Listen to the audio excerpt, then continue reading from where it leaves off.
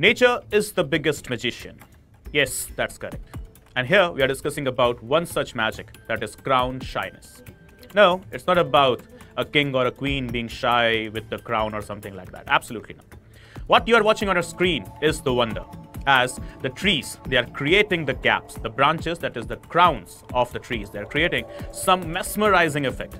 Yes, this is the wonders of the nature. And this particular thing is termed as crown shyness, where you can see the branches, the leaves of the trees, okay, they are not touching each other they are just creating a particular gap through which sunlight could penetrate and reach the surface that is towards the south soil. So guys, this is what the magic of the nature or the wonder of the nature is. What we do call such type of phenomena, it is known as the crown shyness. Related to what? The gaps created by the trees, okay, that is the leaves and the branches not touching each other and allowing the sunlight to penetrate through and reach the soil. Thank you so much guys. See you soon in the next video. Good day. Take care. Jai Hind.